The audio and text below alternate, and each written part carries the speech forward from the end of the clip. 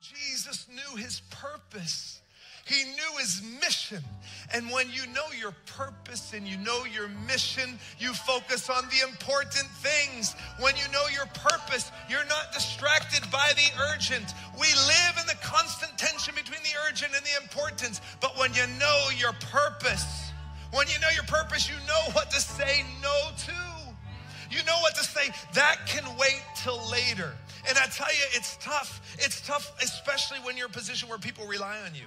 And I can imagine right now at home where everybody's relying on you because you're working from home you're expected to answer when they call and because you're working from home your, your, your children your family everybody expects total availability at all times. I understand we're kind of all in that season right now where boundaries are, are just kind of blurred, but I'm telling you, you'll go crazy if you just continually give attention to the urgent.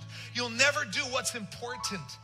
You're created for a purpose. And if you're not sure what it is, guess what? God loves to tell it to you. He actually loves, loves when we discover why we were created. He loves us when we discover our God created identity. I mean, it, it's exciting to God. He absolutely, He's excited. But here's how you find out